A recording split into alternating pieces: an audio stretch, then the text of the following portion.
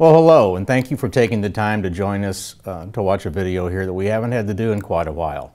We feel that uh, with the rising cases that we're seeing with COVID-19, especially through the city utilities workforce, we want to take a time to address some of your questions and concerns, and especially talk about vaccinations and, and see exactly where we stand with that as a company, where we stand with that as a community, and even as, as a state.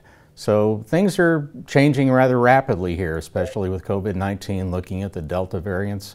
Um, yesterday alone, we had 854 new cases in Missouri. 124 of those are in intensive care. So we're starting to see such a, an alarming rise on this that we want to make sure we get you the proper information you need to know to make some very important decisions.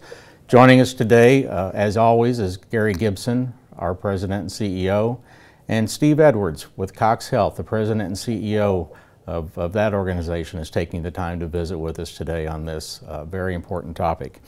Um, Gary, let's just start with you.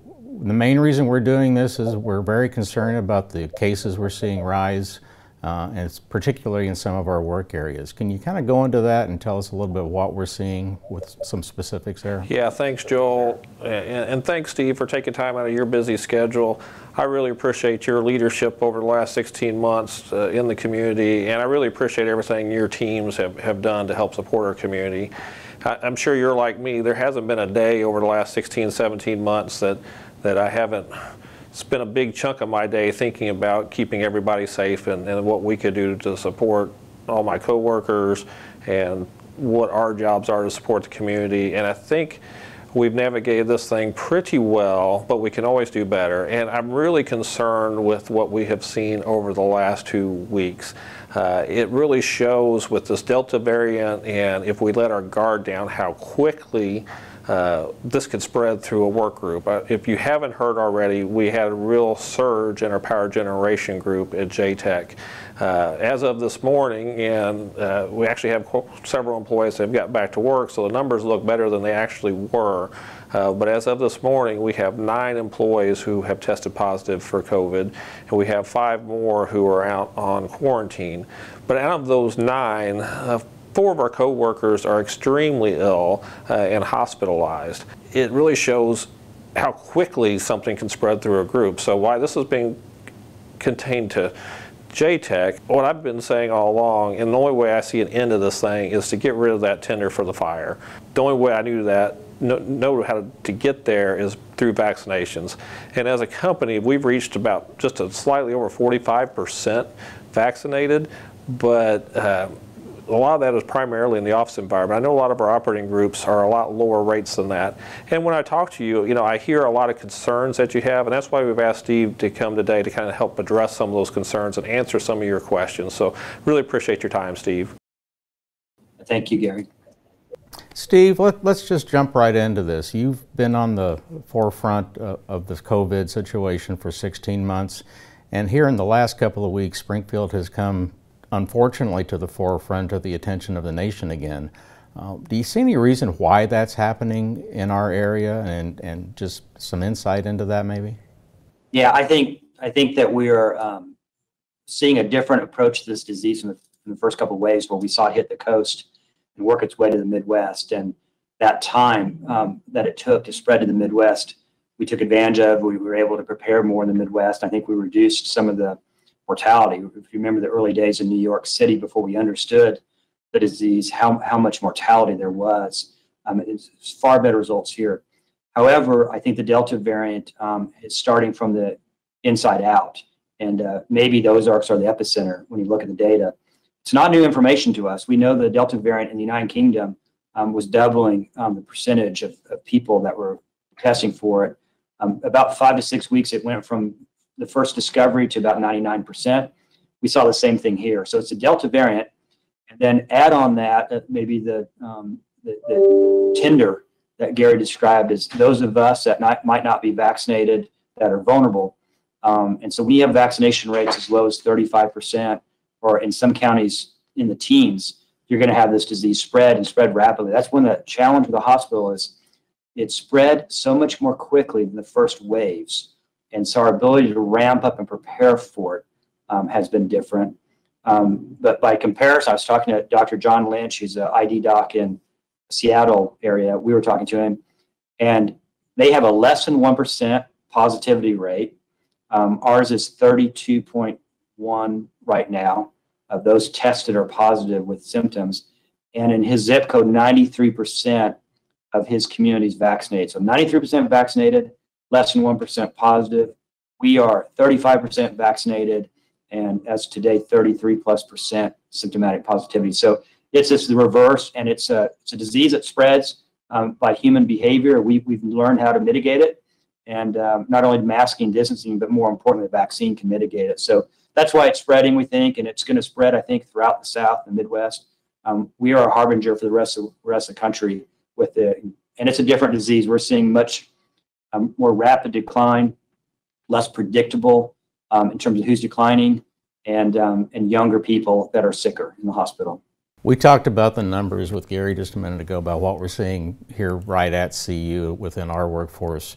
Can you address just a little bit, Steve, what we're seeing in the Springfield area with the patients that Cox is seeing and maybe that, that Mercy, your, your uh, cohort across town is seeing, and just in our area in general? I know you said the, the variant is stronger and it's more rapidly spreading, um, but what are you seeing that number-wise? Yeah, so I mean, both Cox and Mercy have real similar numbers. I, I think we're both sitting around 100 patients in, in hospital right now. Now, six weeks ago, we were at 14. Um, we, uh, yesterday, I know, for example, we had four pediatric cases in the hospital due to COVID. Every once in a while, you'd have a, you know, someone who has a you know, appendicitis or something, they test positive for COVID, but these, all four of these were positive for COVID, and that was the reason they're in the hospital from a patient less than two weeks old to 18 years old. So it's a different disease um, than the original wild strain. Um, to give you a reference point, the original wild strain, there's a number called the R naught. That's a transmissibility. Many of you probably heard that number early on. And the, the original strain is thought to be 2.5 R naught, meaning if I got it, I would likely give it to two and a half people. They would give it to two and a half people. Um, the Delta variant is thought to have a R naught transmissibility of six to eight. So think of the logarithmic difference. If I get it, I give it to eight. Those eight people give it to eight. And that's why we're seeing it spread so quickly, despite having vaccination rates. Now, the good news is we have very few elderly people in the hospital now. The vaccination rates are above 80%. The nursing homes have managed it well. The average age of our admission has gone down 12 years since beginning of this pandemic. And so we're seeing it affect younger people. I think it's not just because of vaccination. I think it's a different disease and that's affecting young people more. That just reinforces the importance of being vaccinated and, and how critical that is to not only our area, but as Governor Parson came out yesterday, uh, urging people within our state to consider, if you haven't already, becoming vaccinated. Um, along with that, we hear quite often the comments that there's not enough known about the vaccine. How was it developed so rapidly? Why? Uh, just so many questions out there. Any thoughts on that as to how to relieve some of the skepticism on that and some of the concerns that the folks have, especially as you were indicating um, the younger population where we're seeing such a surge there? Right. I think we, we've all realized a couple things that the mRNA vaccine technology isn't brand new. Um, it's been around 20 plus years. It's been it's been applied already to certain kind of cancer type patients with some success. We've never had a reason um, to produce this um, uh, mRNA for this this type for SARS-CoV-2, right? And so it, the technology was geared up um, and ready to go, but only really after 20 years of, of development and research. Um, also importantly, understand that in the clinical trials, it went through all three phases of clinical trials. What they did differently this time is they carved out a lot of the administrative um, duplication. So, for example, they would do a, a, set through phase one and phase two concurrently. Um, and so we were able to multiply the ability to go through um, this in a more rapid approach. The other thing I would note is um, I don't think ever in the history of man have we given so many doses of a vaccine um, I know last count we are above 2.4 billion doses of the vaccine administered.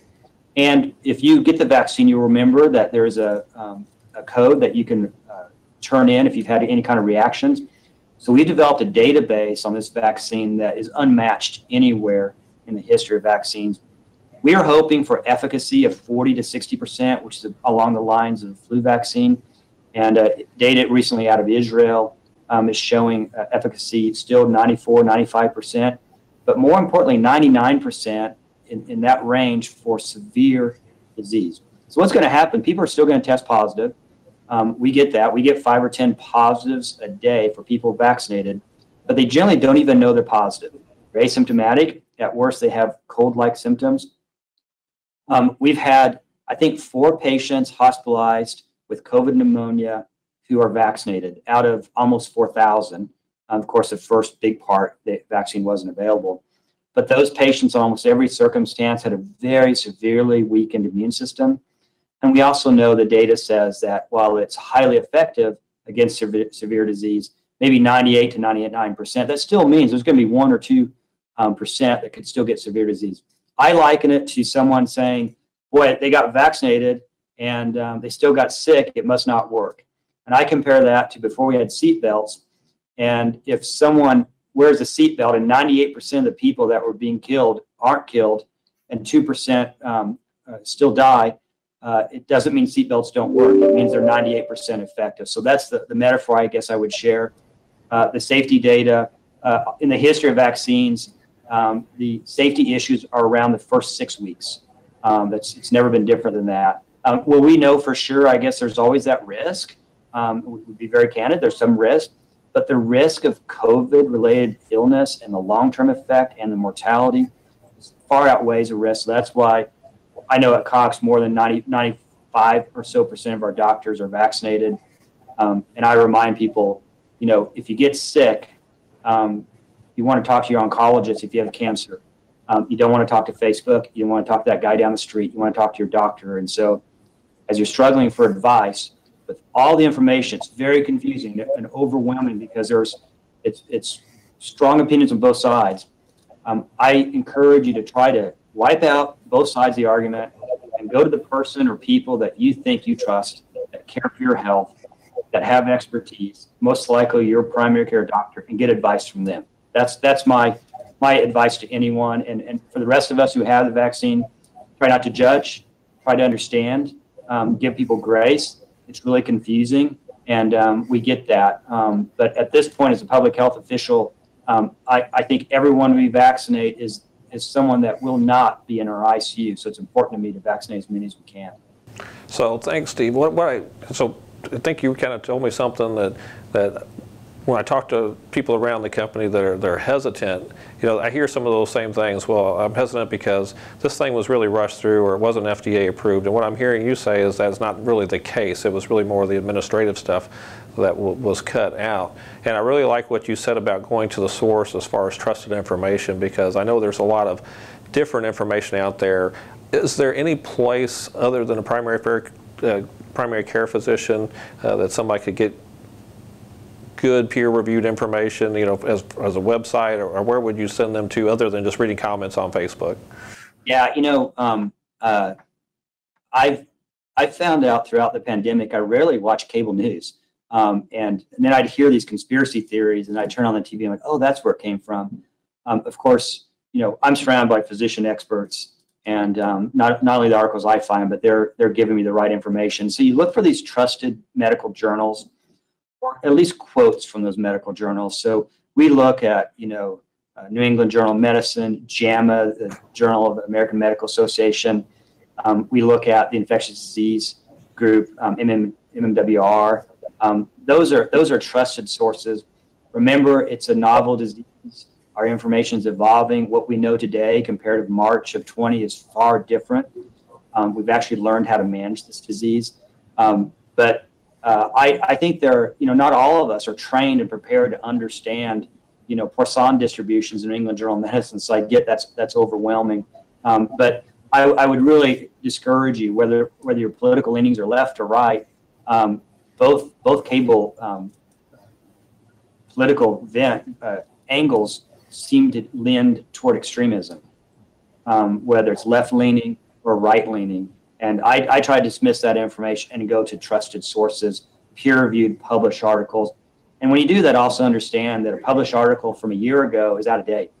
And so some people will quote quote articles that are old, but we're learning so much. So that's where I go. But um, in general, um, uh, you trust your physician. That's where I would go. Gary, you, you might want to ask Steve this since the question came directly to, to you from one of our coworkers about some concerns that their teenage children have for, for the future. Yeah, I had a great question this morning uh, here that uh, about a coworker's 17-year-old son, and I think about that. You know, before long, uh, ball practices and things will start for school, and those high school students or you know teenagers, at least you know 16, 17-year-olds you know, they're concerned uh, uh, about getting the vaccine because, you know, at that age they're worried about long-term effects. But I also see that's an opportunity when we get all our, our kids back together in school for this to, to flare up again. So what are your thoughts on, on that or, or what, what kind of advice would you give to a, either a, a 16 or 17 year old who's trying to make their own decision or a parent of a, of a teenager trying to make a decision and give their, give their kids some advice? Yeah, I think it's an important calculus to try to look at what you think your risk is from the vaccine compared to your risk um, from uh, SARS-CoV-2. And I think that calculus has changed because the variant is affecting younger people. They're more at risk. And like almost every virus, there are often untold or unknown long-term effects as well. Um, long hauler syndrome, um, those those sort of worries that may um, may not come out for decades. Um, and so you've got to balance that risk. I think the school environment, um, unmasked and unvaccinated, um, is extremely dangerous. Um, given that we've, you know, we had four teenagers in the hospital in the last week, um, I'm worried. Um, teenagers tend to have better response, better immune response. There are still risk factors. and so uh, I, I try to do that math. I, I will just tell you that my kids are all vaccinated. Um, and uh, Dr. Trotman's kids are all vaccinated. And we didn't do that without great caution and hesitation. As a matter of fact, we, we spoke with the um, pediatric infectious disease expert at St. Louis Children's, who has young kids, and asked her, What are you doing? And to me, that's about as profound uh, an answer you could get from someone who's in that position, who spent their whole life studying this disease. They're vaccinated. It's not without risk. One of the things I would remind people is um, there's a prevalence of side effects in, in a, a population with or without vaccines. So when you hear of maybe a cardiomyopathy, this, this kind of transient cardiomyopathy that some boys have got, compare that to what the prevalence is in the community overall. And what you find is almost every side effect that's shown up, it has a lower prevalence in the vaccine and in the general population, which one could almost argue it might mean the vaccine is preventative. Um, so no vaccine's perfect. It's an important decision to make. Um, uh, but I'll just I'll just tell you that the leading physicians who care about their kids that I know, they chose to vaccinate their kids. I think carry that a step further and combine it with a little bit of what you said earlier. We know that there are going to be long-term side effects, um, and we're starting to see some of those. But I think one of the concerns folks have had uh, in, the, in, the, younger population, or even you know, people 20s and 30s, is uh, potentially the the childbearing years. And is there any discussion on that at this point? Any? Uh, it, it's hard to know since we've only been doing this since March of 20, really. But uh, are yeah. you seeing anything, findings on that yet, Steve? Yeah, there's been really good data published on that now that uh, gives us the confidence that um, those those early worries um, haven't been founded. Um, we, we always want to be cautious. We're always worried that children um, tend to be um, different and their response are not just small people, you know, they're, they're a different physiology. Um, our OBGYNs, the American College of GYN, OBGYNs recommend it um, for people of childbearing age. Um, uh, and so um, I, am going to lean on their expertise and this published studies that show that those vaccinated aren't having problems with fertility, for example. Um, there was early misinformation. That's something that's really dangerous in this pandemic is there's misinformation. And it's not just people getting it wrong. There are people that make money by putting misinformation out there. There are other governments, I believe, that are encouraging misinformation to create discord in our community. So it's hard to sort through that. But if you go to a source like the academies that the specialty physicians come from and they have all their expertise come together to make a recommendation, that's a place I trust. It's not 100%, but it's the best information we have. And in those academies, um, they, they still support uh, getting vaccinated for, for young young women, for example. It's good information to have right there. You know, one of the side effects, if you will, of everything that's been going on with um, shortages of, of personnel, uh, people being sick and everything, is you're starting to see uh, this trickle into the ERs and the doctor's offices and everything with extremely long waiting periods and everything. What would you tell uh, some of our employees or anyone really that, that may be having yet another uh, non-COVID related situation medically that they need to have treated? Is there another uh, options that they have, urgent care or anything like that? Yeah, I, I, think, you know, some of us, the worried well, we, we think if, if, we're not quite sure, we go to the ER. And, and I get that. Uh, the ERs throughout the Ozarks are, are very, very full. Um, we have good capacity in our urgent cares and really good uh, capacity in our primary care practices. At Cox, for example, we, we have um, a, a thing called Save Your Spot and so you can go online and go to Save My Spot, and it'll tell you the first available spot in an urgent care. You can plan your day around it. And you know, I, I took my daughter to one the other day, and um, the first one available was Ozark. It was uh, quicker than I could even get there, so I had to push the spot back a little bit. Um, but that's a really handy tool to kind of help self triage. Um, and but know that we we're as we're as deeply worried about people not getting medical care um, as we are the, the pandemic and the COVID related issues. So our doctor's offices are generally very available. Um, and um, uh, if you've got the beginning of a worry, um, go to your doctor. Um, uh, try try not to wait to the ER. And if you go to the ER, know that we have to triage people. We have people that's what they do for a living, and they make choices. And if you've got symptoms of a stroke, you're going to jump ahead of line of someone who has, you know, dermatitis um, and so that it may mean that you may wait a long time in the ER. Another reason ER waits are long right now is we're out of capacity in the hospital. So a very sick patient, we we do what we call board in the ER. Mercy and Cox both are doing this. So a patient may stay in the ER 24 hours waiting for a bed in the hospital. And that means that bed's out of service and the ER makes the lines back up. So good capacity in our urgent cares. Um, we also have a telemedicine. Um, it's easy to do. You can do it on your couch um, while you're watching a movie, wait for it to be available. So try all those options before you go to the ER. Um, of course, that's a medical decision, and when in doubt, we, we trust you go to the ER. But um, those places can can see you pretty quickly usually. Good advice, sir. Basically, technology has come a long way, and the ER doesn't necessarily have to be your first stop. So. Um, consider everything. Don't take a chance with your life or someone else's, but consider what other options are, are out there is kind of what I'm hearing from that. Um, I go back to yesterday, Governor Parsons uh, is starting to uh, talk more about urging our Missourians and our neighbors to start looking at the vaccine. We're starting to see more and more uh, opportunities within the community. I know Cox and Mercy both have step to the forefront to help with these events. Are, are we starting to see a little bit more interest and do you feel that doing the incentive is starting to help a little bit? I know we're going to do one with Transit Center here toward the end of July. We'll be talking about more as we get closer to that, but it seems like these vaccination events are on the rise. You know, um, I, I, I feel encouraged. Um, the health department reports back to me just, you know, because we're all good partners um, you know, when the Delta variant became kind of national news, um, uh, there was one day they went from a handful of calls to over 100 calls uh, about information about vaccine and scheduling. So that leads me to believe there's increased interest, um, and um, rightfully so, because I think a lot of us looked at the map and said, "Well, I'm young, I'm I'm healthy. If I get it, I'll be okay. So it's not a big risk." Um, two nights ago, we we had a 40 one of the young 40s pass away who was otherwise healthy, no no issues, and um, uh, it's unpredictable now. And so as it gets more severe, know that um, it's incredibly painful for your family.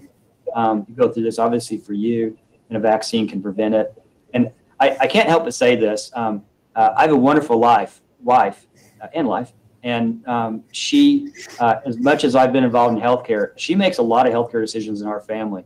And um, I think um, there's something about a mom looking out for a family and if, if you're a mom, if you're a woman, know that your voice is powerful to men in your world and um, um, encourage them. Um, sometimes it takes that um, encouragement to get things done. Men, I'm going to stereotype, we're not great about taking care of ourselves from a medical perspective.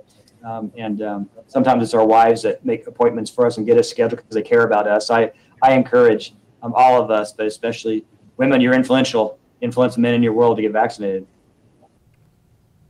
I know. I get told what to do quite often. But anyway, that's a different topic. Um, let's take it back to city utilities for just a minute and, and focus on where we stand. We know we're seeing the, the surge. We know we're seeing it in particular areas, Gary. What would the next steps be for the CU workforce if we have to make changes to start preparing for, for a surge throughout uh, the utility on a greater speed? Well, you know, everyone has heard me use the term that we are essential workers.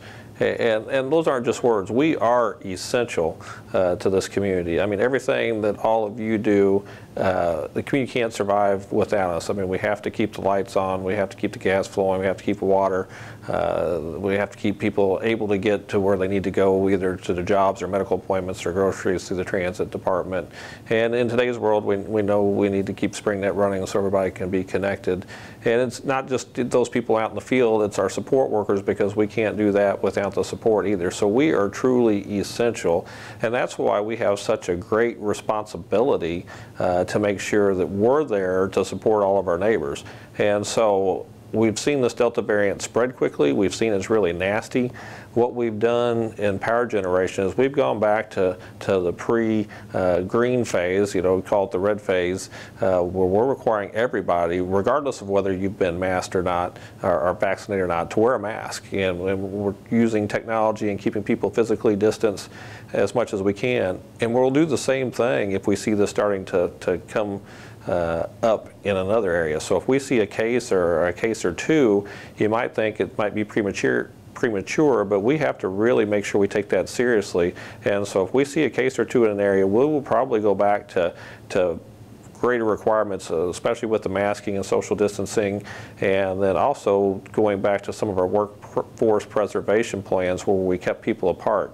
And I know it's going to look different from area to area, and I keep thanking everybody for their patience that we've had over the last um, 16, 17 months and the flexibility that everybody has. We still have some field groups who have very low vaccination rates where we haven't come back together in a show up area. And you know what, that's okay. And until we get to those rates and I feel like we can support the community safely, that's what we're going to do.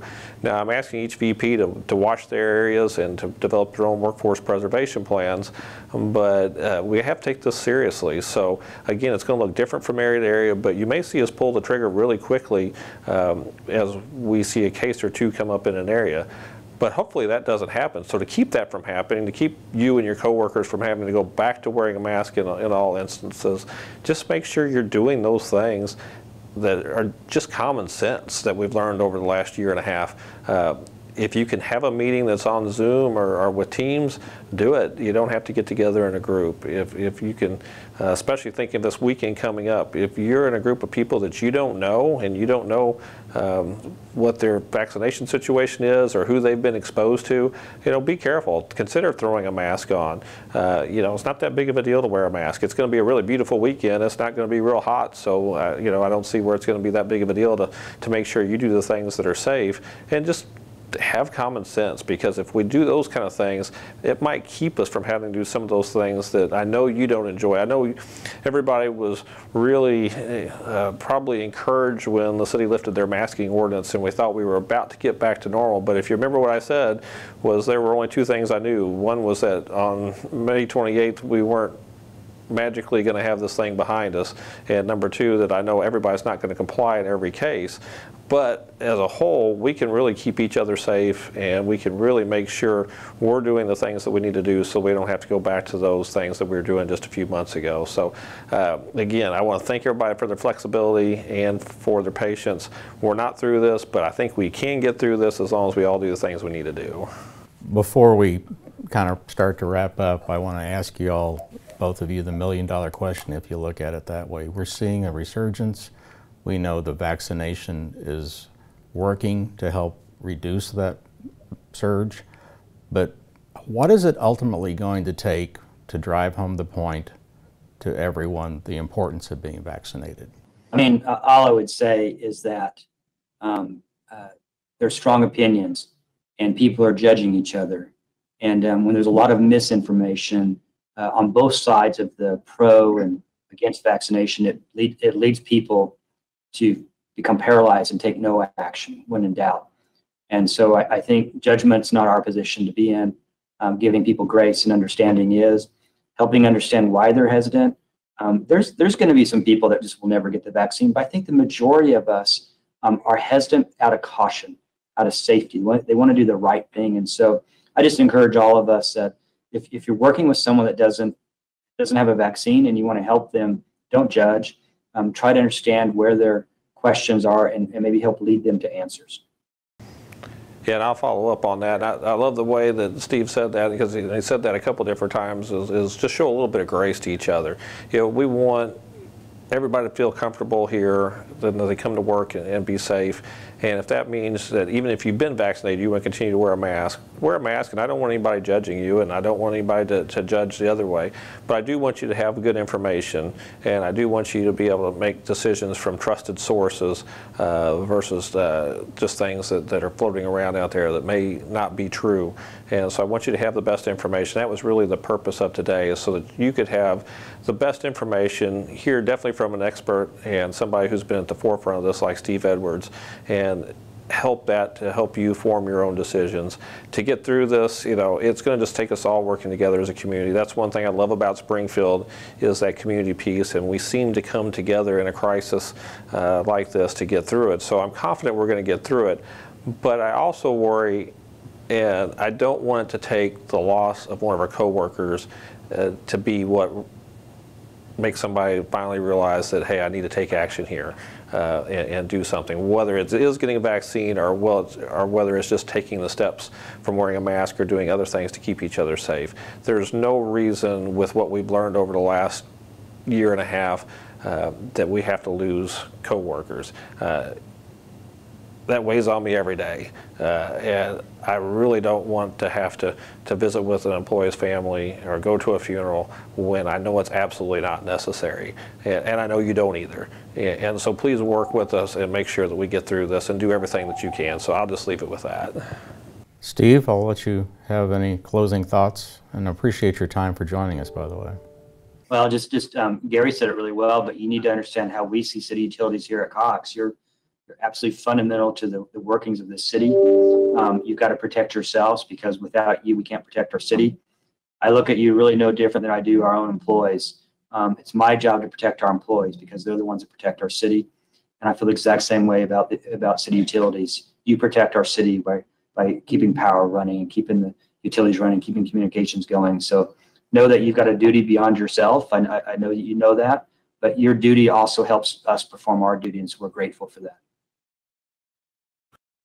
And again, Steve, I'm just, I know how busy you are, and, and I just can't thank you enough for taking the time to, to visit with me and, and get this message out to everybody that I get to work with. So I appreciate you. And again, pass on to your teams for everything that they've done to support us over the last year and a half. I will. Thank you, Gary. Steve, thank you for joining us. Gary, thanks as always for your time. And we hope if you have any more questions, you know, contact your supervisor uh, contact one of our nurses and ask those questions. But there is good information out there, as Steve has just said. There's a lot of data that shows uh, the very good information on the vac vaccine or the vaccination of, of your choice. So ask those questions. Please consider um, your options on those. Um, above all, take care of each other, and uh, we'll see you next time.